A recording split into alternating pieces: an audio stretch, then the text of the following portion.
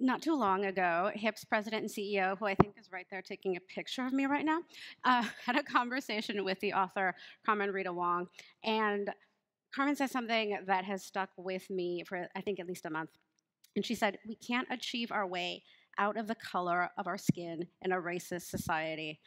And so I have been sitting with that for a while now and was thinking about what we were going to talk about today. And quite frankly, this is the reality that we have to sit in right now, and especially with everything that's been going on over the past few years, and then thinking about the midterms that are coming up. And I know that a lot of people in this room, and especially our partners and allies with Hispanics in Philanthropy, have been thinking about the different ways that the American dream simply wasn't designed to apply to them. And the, the few people who are able to achieve this idea of success have really had to buy into a system that isn't for us. So, what we've seen in the past couple of years legally is that a lot of these rights that we have fought so hard for, that our ancestors fought so hard for, are being systematically taken away from us and then taking this American dream and making it more and more narrow. At this point, many of us, I know me personally my family, we are overwhelmed. We are overwhelmed with dealing with COVID and other health issues, with racist attacks on our families, on our lives, and just our way of being. But then also to deal with attacks on our fundamental freedoms is really putting us at a point where we have to make some very specific and difficult choices. So today I'm really pleased to have Joe Scantlebury and Paul Ryan today to help us talk through some of these issues and we will have time later for all of you to come and engage with us, ask us questions, and, and let's see how we can push some of the edges around these conversations today. So, Paul, actually, no, Joe, I'm going to start with you. We'll start with you. So, with Living Cities, you have this ability to bring a network of donors and investors together, and you're looking at both some really critical research, but also making investments. So, over the past few years, what has Living Cities learned about, especially looking at the racial wealth gap, and how can those lessons be applied to thinking about how we invest in democracy? Sure, sure. Well, good morning. Um, first, let me say a little bit about Living Cities, what it is. We, we are a 31 year old philanthropic collaboration that has actually committed itself to both financial institutions and private foundations coming together to try to innovate. And let's see how far we can go together. So there's been a long history of work as we think about closing racial income and wealth gaps, a couple of things we've learned. First of all, it requires intentionality. It requires us to actually look at race explicitly. And I know a lot of funders, that's kind of a uncomfortable space. I know financial institutions, that's an uncomfortable space. But it's a space that actually speaks to the inequities that we see across the country. It's part of our history. and in this capital conf conference, right, we're we're here talking about capital innovation. I've been watching pitches right and left. I've been sitting in the garden watching really energetic conversations of really hopeful people. Well, part of the challenge that we have going forward is we always have to vision what is the hope that we can all exercise. So some of the things that we've learned is that through our Catalyst Fund uh, commitments, we've learned that we can drive change. We've learned through our Blended Catalyst Fund, for instance, that fund managers of color clearly find and see entrepreneurship and opportunities with people of color at a higher rate than white capital investors. We've seen that the 1.3% of the 69.1 trillion that's invested in global capital assets, and that 1.3% that is dedicated towards women and people of color, that limited investment is stifling it actually undermines our ability to expand opportunity and undermines our ability to actually move democracy forward. And more importantly, we can talk about equitable economies in cities and at national levels and in political campaigns, but if we ultimately don't solve the flow of capital, we won't get to where we should be. I'll stop there because we can go on, I know that. No, absolutely. uh, and something that I want to hold on to and come back to is this idea of hope and exercising hope, because it's not just a thing that's either there and you have it or you don't have it. You have to actively practice it. So let's hold on to that and come back to sure. it a little bit later. But Paul, you also work with a group of donors who are specifically concerned with our civic engagement and the state of our democracy. So we'd love to hear from you as well about what your donors are thinking about right now, what they're most concerned about, and what they're focusing on. Thanks, Hilda. Um, good morning, everybody. So I've been at the Funders Committee for Civic Participation only since April of this year, and I have, uh, prior to that, 20 years of experience in the democracy movement as a lawyer and a policy expert and a nonprofit manager and a fundraiser, and I bring all of that experience to my new work in philanthropy. So I've worked with philanthropists for decades, and now I'm working in close partnership with philanthropists. So what are they doing in this moment? Um, first of all, they are organizing. They are coming to events like this to ensure that their grant making, their gift giving is in alignment. Um, they cannot be, you know, effective philanthropy cannot be siloed. There has to be collaboration between funders. Um, they're joining groups like the Funders Committee for Civic Participation. So if you're a funder of democracy movement work and you're in this room today and you're not a member of FCCP, please go to funderscommittee.org forward slash join and check out our membership criteria and, consider joining us. We'd really appreciate having you.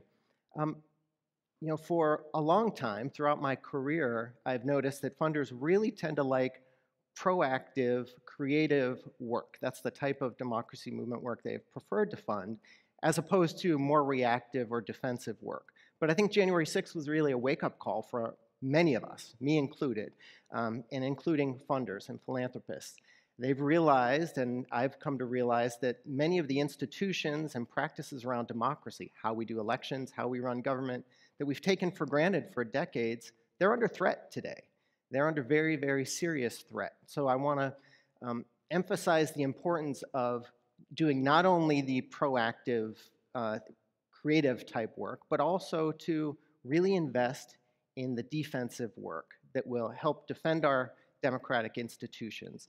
This is done in the field on a variety of different ways. I'm going to talk about two specific types of work, policy, public policy work, and litigation, and how these, this defensive, important defensive work is showing up there today. So um, on the legislative landscape, there was a silver lining to the COVID pandemic, which is that um, we saw a rapid, dramatic expansion of voting accessibility measures, laws that made it easier to vote safely and securely either from home or early in person with lower concentrations of voters, anything to avoid big crowds, long lines when the pandemic was raging.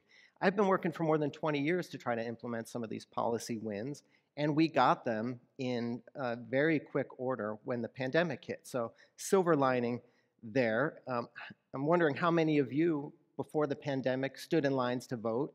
And in this year's election and in the last elections recently since 2020, you've voted safely and securely from home. My family, my wife and I, filling out our ballots at the kitchen table and walking them to a drop box two blocks from our house. And I love that accessibility. I want to keep it. I want us to celebrate those wins. But be clear, those wins are under attack today because the elections did not go the way, have not, recent elections have not gone the way that regressive forces, authoritarian forces, white supremacist forces have wanted them to go.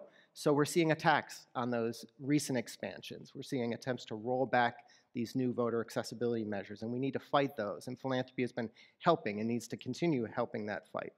Um, and compounding this need to defend these recent gains is new attacks on voter voting rights. Um, we've seen an emboldened right attacking um, really, really basic measures with vote suppression efforts. Things as simple as you know, making it illegal to hand out water and food to people waiting in line to vote. Really inhumane um, rollbacks or attempted rollbacks in voting rights. So that's some of the defense we need to play on the policy front.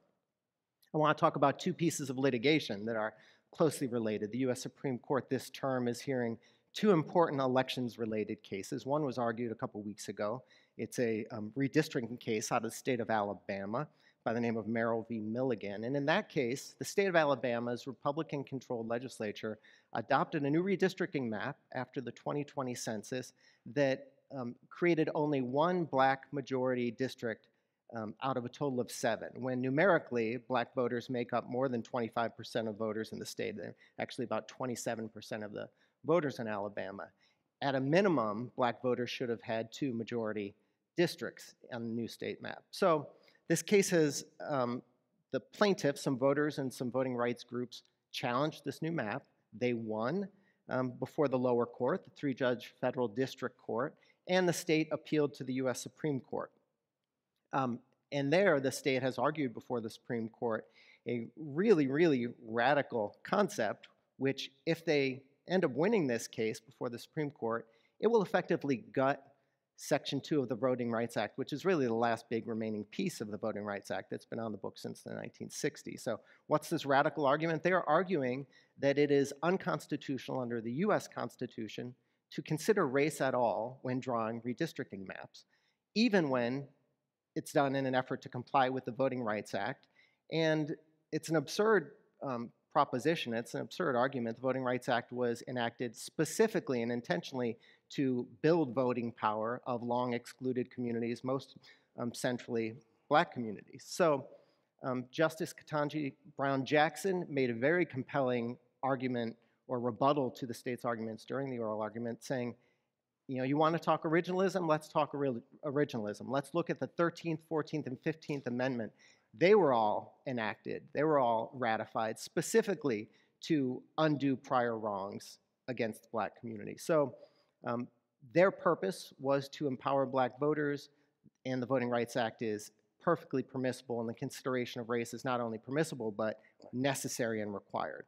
So that's one important case we're going to get a decision on later this year or early next year from the Supreme Court. The second, another elections case, is out of North Carolina, another case that introduces, um, by the state's lawyers, a radical argument that state courts have no power to review or declare unconstitutional or illegal laws passed by the state legislature around elections. Now, you may have noticed if you read the description for this event in the program, it talks about separation of powers. It talks about um, these long-standing principles.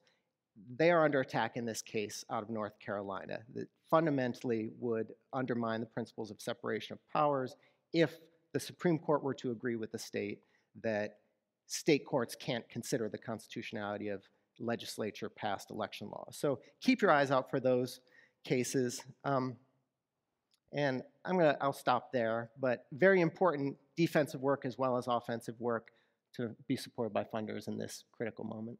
Thank you. Joe, is there anything that you wanted to add to that? Sure, sure. So I, Paul and I agreed, we're both lawyers, but he was gonna do the lawyering here and lay out the legal case. Um, when I hear what Paul just shared, which is very powerful and compelling, you almost feel powerless.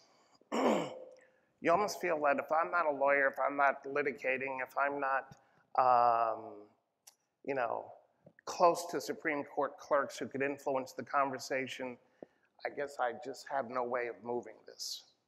And it's up to a handful of people to make a decision to make things happen. Um, and that's far from true. Everything we have, all of the inequities that we see in our society have been created intentionally, maintained, and sometimes their genesis is forgotten. Right? Sometimes the genesis is forgotten, which is why Justice uh, Ketanji Brown Jackson's pull on original interpretation of the 13th, 14th, and 15th Amendments are so important, right? We actually have to understand how these inequities were created. And that's something that is part of all of our heritage here. It's all part of the society we live in and continue to pay taxes into and support.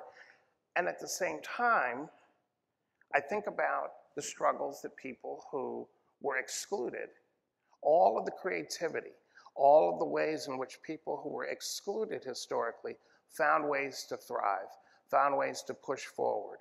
And I think about cities. Cities are places where we're proximate. These are places where we see one another, bump into one another, and we all know that neighborhood we don't want to go into. And what we don't realize is that neighborhood was created intentionally. Whether it be through red, you know, uh, redlining, whether it be through restrictive covenants, whether that be through the lack of investment in those communities. These are things we can undo. Heather McGhee and the sum, uh, the sum of us really speaks to that very in a very hopeful way. And I think part of our challenge is that we all have to demonstrate hope. In Living Cities, we have a network of 21 cities who have committed to closing racial income and wealth gaps. And they're all trying different ways of approaching that work. And we're learning from them. We're not funding it all, but what we have done is we've created the space for them to look to think intentionally around racial equity, to look at their data, to look at how they disperse public dollars, to reconsider their housing patterns and their transportation patterns, even things as fundamental as san sanitation and water access. Some of you are familiar that water access really matters. How did we get to these grand inequities? Through policy, as you've heard, but also through our lack and our unwillingness to engage with one another around investment. That's key. And in, a, and in a gathering like this, where we're talking about impact investing, the conversation is no longer one of, well, should I make a charitable contribution to a fund manager, to a fund manager of color? Should I be moved by a lynching that I happened to see on television during a pandemic when the whole world was watching? Or should I be fundamentally reconsidering my business, how I do business, why I haven't found women of color as equal partners in innovation and ideas? Should I re examine why I don't see men of color, and black men in particular, as equal partners in work? Should I re examine that? And how do I do that? So that's a personal journey one has to take. And, you know, the good thing is that there's Google, right? I don't know any people of color. I don't know a lot about racism and indigenous people's history. Google, it's right there. Audible, it's right there. You can learn, read, you can do it while you're driving. It's accessible, it's easy. But now let's build the other part. Let's build relationship. Let's connect. Let's talk about. And know that we're all on this learning journey together and this journey of recreating the society that we should have. Is it going to happen overnight? No, it's not. But if we don't begin now, by the time we are a nation that is very clearly no longer a majority white nation we'll still be operating with the inequities that were created to advantage some over others and to exclude others. We can begin to undo that now. I think cities are a place to do that in a really, really discreet and clear way because the people and the needs are evident. They're all around us. They become the grist of every election campaign. We talk about it all the time. Look what's happening in that city and the other city. And frankly, as cities go and their economies thrive, rural communities, suburban communities also can prosper because it's one economy. So my hope is that even as we have these struggles, that we continue to think about ways to innovate together and that we build relationship together. And this is very hard work because frankly, there's always fear. Fear of the folks coming over borders. We've had people run on that on that xenophobia specifically. We have people running now on that fear specifically. And we, are there concerns and debates and policy issues to be discussed? Sure. Well, but would anybody in this room feel comfortable watching children caged? I think not. And yet we did. And yet we did. So, trying to stay hopeful but I'm also pushing us to think about what we see as not someone else's responsibility, but all of our collective responsibility. I dare say, working with the members that we have and working with the tremendous staff that I, I just became the CEO of Living Cities last year, working with the staff that I have, we have this dynamic tension where we're in relationship, trying to really think through what does a long-term commitment to building equity actually look like? And being comfortable with the fact that racial equity is not something we just achieve through a grant or through a DEI statement or commit. It's actually an investment in a long-term process and a process of inclusion. And for those of you who are profit-oriented, a profitable one because the people that you engage become your co-creators, your co-investors, your partners, and your customers. Thank you so much. And I want to pull this thread a little bit about the connection between cities and rural places. I am from a very rural place. I grew up in this rural place. Um, and my politics do not really align with the, uh, the, predominant politics there. But so far, it's been very civil, and so it's okay. Um, but th the reason why this connection is so important is because there is a sense that cities sort of control, and there is a lot of tension between where I live and even Chicago. Uh, Springfield, the capital, doesn't really, it's not even a blip on the map, really, as, as far as conversation goes. And so with HIP, what we have done with our new Power Building and Justice program, which we call PB&J, is very intentionally use research that we had commissioned to see where our communities were growing in places where the resources weren't matching that growth. And so we are working in the South, in both cities, but in rural places, and ideally with organizations that have access to multiple areas where our communities are bubbling up and have a presence but don't have that access to power it also investing in the kind of work where folks can see themselves. So it's not just about talking only about elections or talking only about Supreme Court cases, which are important, but some people can't access that, right? For people, every day they want to talk about how does this affect my economy? How does this affect the ability for my children to go to school and be safe? How does this affect my my health you know my bodily autonomy? And so through our work, what we're trying to do with a small group of folks is, again, like you said, invest for the long term, build their capacities and their agency to feel and see themselves as part of this bigger democratic system that we're trying to build. And ultimately get to a place where this idea of capital is much more integrated with, with the wholeness of who we all are as people in, in this geographic space. So I appreciate you making these connections. Paul, I want to go back to you. Um, so you are fairly new, and Joe, you're also fairly new, but you have a long history in in these spaces. saying we're old? No, no, no, no, no, no. I'm probably older than both of you. but what I am saying is that you are not just people who have been living in a philanthropy pod, which I actually have been living in a philanthropy pod. Um, and so what I what I wanted to ask you was, quite frankly, we are in this particular place despite years of investment that have been done in certain ways.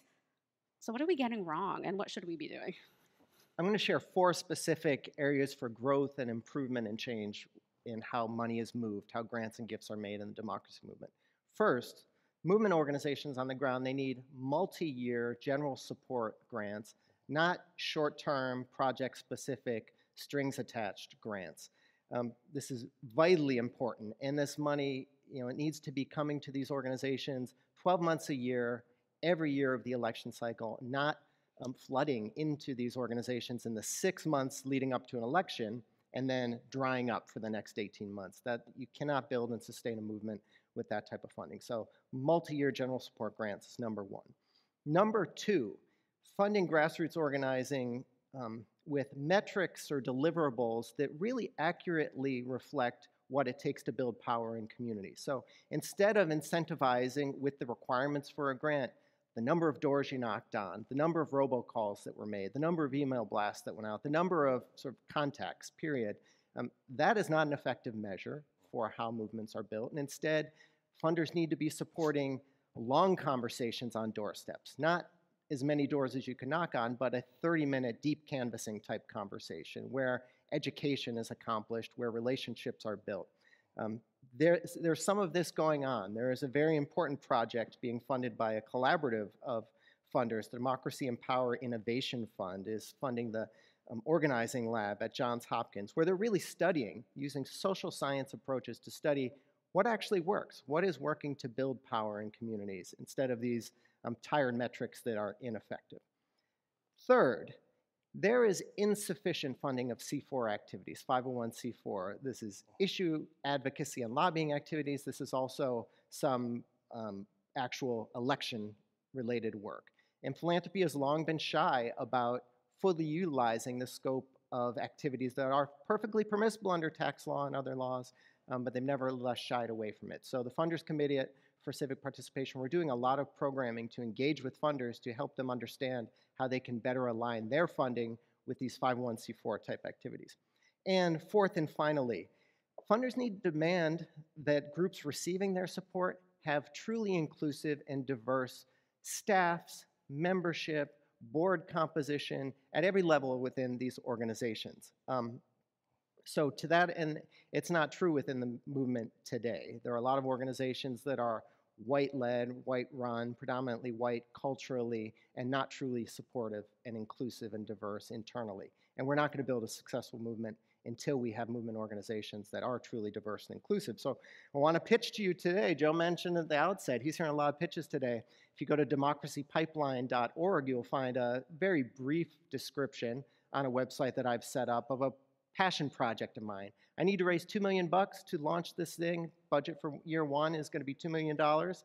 What this is, is uh, creating a set, a cohort of paid summer interns and two-year fellowships to build a truly diverse and inclusive movement um, or pipeline for democracy movement professionals. This is across all departments that are necessary within movement organizations to make movements succeed. So I'm talking about not only legal and policy, where I got my start, but also the fundraising piece, the communications piece, everything that's required to run a democracy movement organization.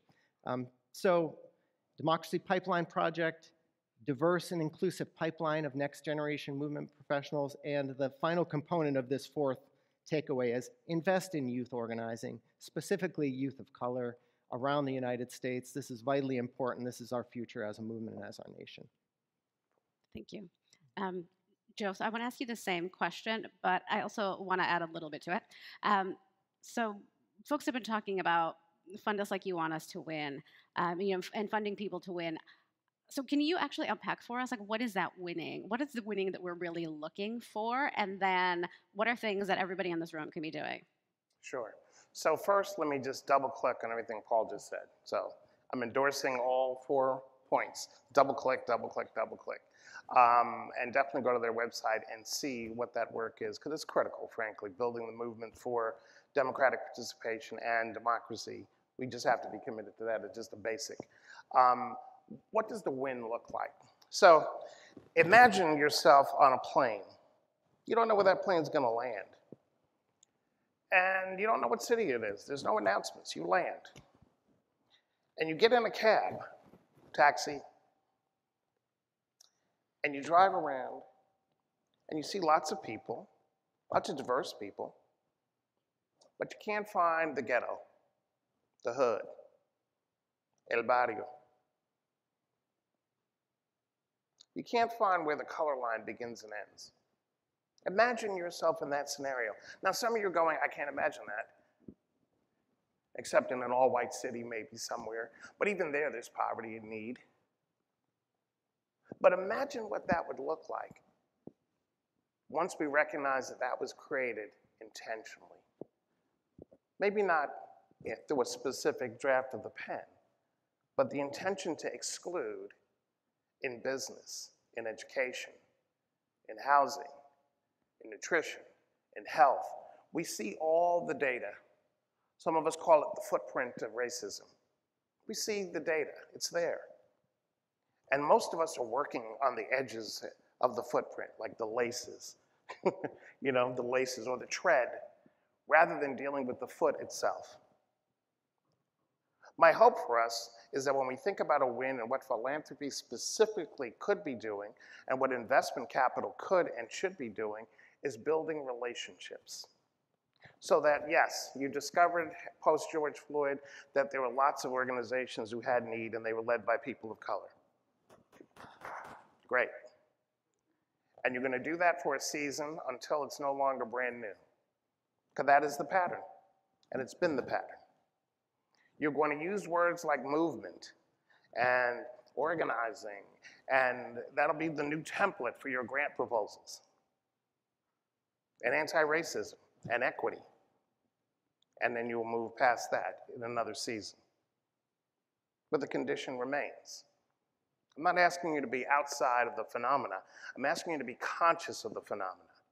I'm asking us to be intentional about the phenomena and to set the goal that we remove the barriers to participation. So in the capital arena, 1.3 of a trillion of of 69 trillion dollars of global investment, asset investment. 1.3 percent of participation by people of color is appalling. And that's not legislated. Those are individual decisions by investors. Those are people in this room who are watching and listening to all the pitches that are coming and all the hopeful ideas that are being presented and saying, okay, well, I'm going to give a token to that contrib. I'm going to give a token so that I can be part of that, rather than I'm going to build a genuine relationship with the people who are pitching to me so that we build something together. Philanthropy has to shift from the place of we're going to solve to we're in partnership with communities. partnership with people, and we're not always going to agree, but we're going to stay in relationship and build and build the society and the country we should have. So that's what I would add. And double click. Thank you. We have some meaty questions. Go for it. So I think um, I think what I might do looking through these is I'll do two little rounds because if we do all of them together, your head would explode. So first up, and I'm going to paraphrase, folks. Okay, uh, the first question is about dark money and what can we do about dark money, and then the other question is looking at the Supreme Court and what can everyday people do about what is happening with the Supreme Court. Who wants to go first? I'm happy to start. there you Um, go. So on the dark money front, there's a little bit of good news in terms of where our court's jurisprudence is around money and politics, and that is the court has not yet gutted the public's right to disclosure of money and politics. We just need elected officials, legislators to act and to strengthen those laws. That will has largely been lacking at the federal level and has more or less been lacking at the state municipal level too, with a couple of exceptions here or there. Um, so without getting too deep into the weeds, although we have Supreme Court decisions like Citizens United, where the court said um, unlimited corporate money in politics, disclosure's the sort of the silver lining where we can still, if we muster the political will, enact laws that do shine light on dark money, that eliminate dark money with, with stronger disclosure laws. What was there was a second part that was also Supreme Court. Supreme Court. Elections matter, everybody. And we have the Supreme Court we have because we have this, had the Senate that we had and the president that we had from 2016 to 2020. Um, there's no way to sugarcoat it, and these are lifelong appointments. But there, I will say, the ray of hope is that the Supreme Court has never led this nation to anything. The Supreme Court is largely reactive and reflective of where the broader society is. So we need grassroots organizing. We need to change the public's sentiment on these important issues that matter so much to us. And um, trust that the Supreme Court will eventually follow. But it's going to be, we have some ugly years ahead of us at the court. Yeah. But they're not the leaders, we're the leaders. Yeah, I, I, yeah, I just pick it up for that because I think that is, that's really the bottom line. Um, at the end of the day, I know so many folks who are despondent, discouraged, and at times, well, who am I really going to vote for? Doesn't really matter. Yes, it matters. And it matters because that is a fundamental way in which we, at the local level in particular, make decisions of who's going to lead, who's going to direct resources, who's going to actually set policies that help grow businesses or grow communities. The Supreme Court doesn't do that. We do that. And when we choose not to participate at the levels that we have chosen to not participate, except if there's something sensational on the ballot, I mean, you know, nefarious, but I, you know, I think the former president was trying to put uh, marijuana on the, on, you know, make it a federal law Or, you know, I was like, this guy will be reelected in a minute if he gets that through, right? Because so many folks I know, oh, I care about that, I'm gonna do that. The reality is, is that we've got to be more than single issue participants. We have to consider the whole. And that's hard to do when we're all busy, when we're tired. Hilda began with how tiring this all is, how exhausting it all is, how despondent it all is. Do I have to wait for another lynching before you see me? Well, the truth of the matter is, is that I can't let that be the litmus test of my engagement and our engagement. I think about all the people who've come before us, and they weren't always a majority, but they were critical in continuing to move us forward. And all of us have family stories of sacrifice and struggle and heroism and courage in whatever form they show up. It's our time. And it's not just our time for our moment and our issues, it's our time for the future that we expect to see. Um, it was said yesterday, I think Janae Queen Nazir talked about this in her comments. She talked about Eddie Glaude's book, Becoming Baldwin. And there's a line in there where he says, Imagine, just imagine, if we could start this whole thing over. And it was you and I starting it over. What mistakes would we repeat? And which things would we learn from the history and innovate forward? I'd like to think at an impact innovation convening. That there are people here who are bold enough to try something that is just off the cuff, really on the, on the razor's edge, but actually is the source of how we grow and how we build and what drives our economy. That courage to try something new. I think that's required of us right now. And to see it in both civic space, private sector space, certainly philanthropic space, because in philanthropy, other than the tax code, there's nothing holding us back from doing what we can do. So let's do it. I have a question here that I'm going to ask singly because I think it, it merits a deeper response. What do each of you think is the root cause for such a large number of Americans responding to the clarion call of authoritarianism? And how can we reverse this disturbing trend?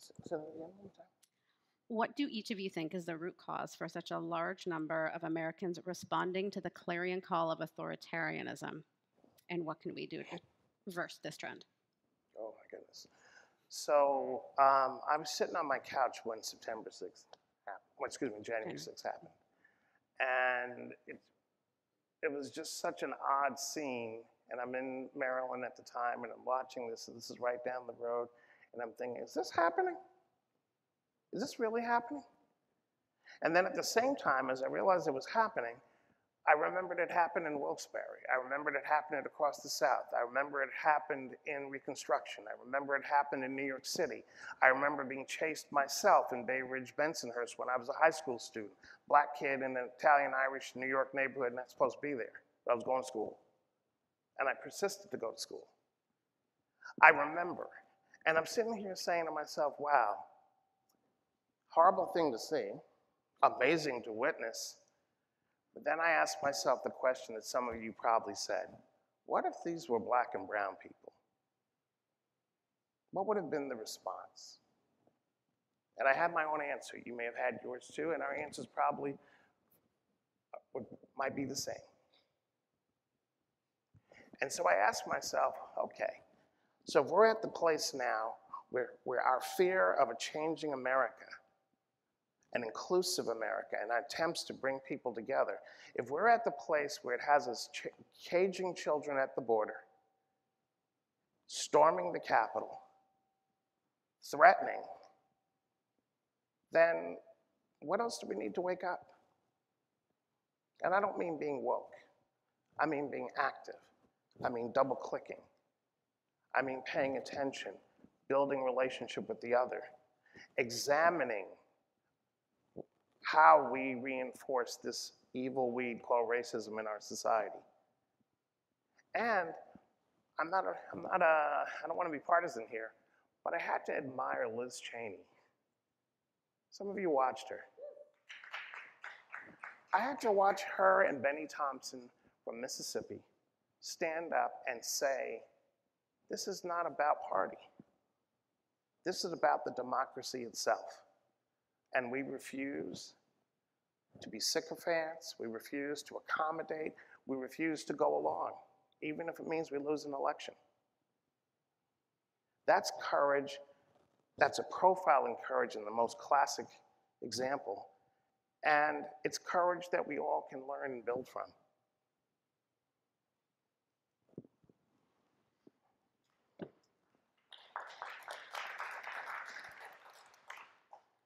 I'm going to co-sign Joe's response, and I'm I'm going to respond myself in a way I think that probably reinforces it.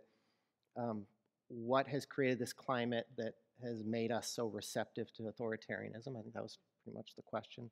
White supremacy, homophobia, transphobia, sexism. Um, this is who we are as a nation. This is who we have been for several hundred years as a nation. Um, we are changing too slowly, but we are changing. We've been a nation of progress for several hundred years on all of these fronts, I believe. But these problems within us are still here. I know because I was raised swimming in these isms. I was raised as a white, straight, cis male, um, oblivious to all of my privileges for the first 20 years of my life. And the past 30 years of my life, working to unwire this stuff from me And there, there is no finish line. This is going to uh, be a lifelong project for me, for sure. And we all need to be doing this. Um, you know, my lane, I think, most specifically is talking to white folks about white supremacy and straight folks about homophobia. Um, you know, because I know it because I am it. It's within me. I'm trying to get it out of me. But I think, you know, explicitly and implicitly both, probably more troublingly the implicit piece of it because it's harder for us to recognize in ourselves. But we have a lot of work to do on these fronts as individuals and as a society, and I think that's that's why we are where we are. Thank you. We have a question here about, please. Yeah. We have a question about who we bring into some of these conversations, and specifically, um, someone is asking, frankly, why we're not engaging more with folks in the national security, foreign policy, and political strategy spaces when we're talking about securing our own democracy. Um, I guess the short answer is at least some of us are, and that's something that was new to me. I, you know, 2017, 2018, 2019, I had been in this democracy election law space for um, 15 plus years at that point. And it was the first time in my career that I started meeting with the national security folks because we as a nation, um, not me as an individual, elected a president who posed a very serious national security threat to the nation and threatened our not only our election systems but all sorts of national security issues. So um, those of us who are working on election security issues, we are collaborating with um, national security folks because we do view both on the technology front, what are our actual voting machines and systems, how vulnerable are they to attack, how do we make them less vulnerable to attack? Short answer, paper ballots.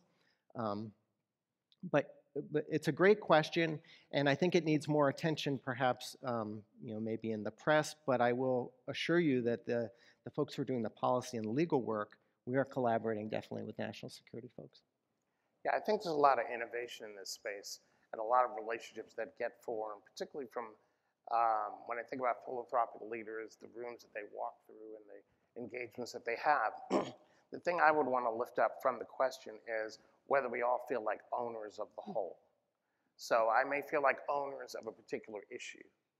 I may feel like owners, so for Living Cities, we're concerned around economic inclusion and opportunity and how we drive that, demonstrate that, so that, and how we lift it up where it's happening well so that it can be replicated. Because we are hopeful that as we demonstrate what's possible, that Americans will hold the possible. And we've seen it already.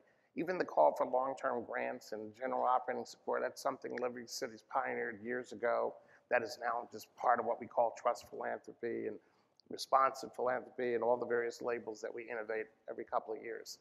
But that said, I think thinking about ourselves as owners of the whole is part of the challenge, right? How do I think about the problems of a rural community? How do I think about the problems of national security? How do I inform the conversation as opposed to leaving it to the voices of narrow interest and narrow views? So I'm going to tap on one legal case here. It's an old case. Um, so the insular cases, right? These are cases that spoke to the citizenship of Puerto Rico, the status of Guam, and um, and the basic point that the Supreme Court took was, um, yeah, these people are part of the American order. That's our territory. And some will be citizens and some will be nationals but they can't possibly blend into the America, into America. They can't possibly. Now, it, to me, it was a page out of how we've treated tribal communities in terms of sovereignty. Yes, you're here, but we're not going to respect that sovereignty. Not even really going to consult. We're going to do what we want with you and with your people and with your land. We're at a different point. All of us see Puerto Rico again and again and again and again losing power, and we ask ourselves, why is that? It's not that far from the US. Can't we figure that out? Well, we don't have an interest in figuring that out. And we as a nation don't see fully that this is who we are all together. So part of our challenge is how do we actually continue to raise those issues regardless of ancient court cases that in effect said these people will never be us. Because now, as I look at us, this is us, all of us, all of us.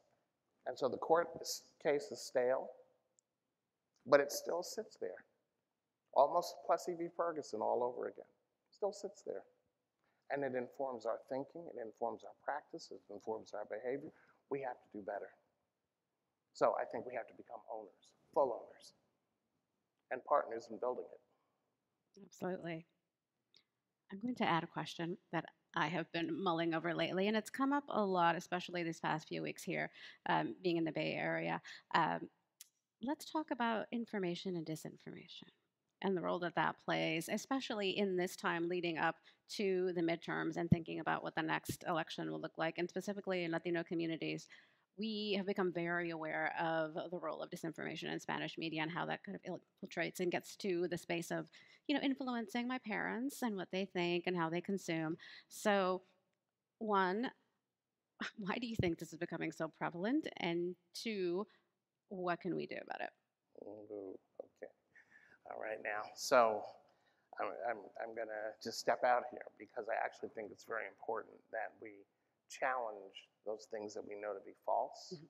those things we know to be narratives that need to be changed and shifted, but we also have to create new narratives. And I don't mean create new narratives because we need to tell a tale. I mean create new narratives because at the end of the day, narratives inform our mm-hmm. connection mm-hmm. to one another. Um, a mentor of mine once described how she was on a plane with someone who she knew the moment she sat down, it was going to be an issue. Okay, MAGA hat, the whole nine, and she's like, oh, jeez, no. Can I get another seat? It was first class. She didn't want to move, so, so she wasn't going to go. But by the end of the flight, somehow they got into a conversation. Now, me, I would have been headphones and bourbon, and that's the end of that, okay?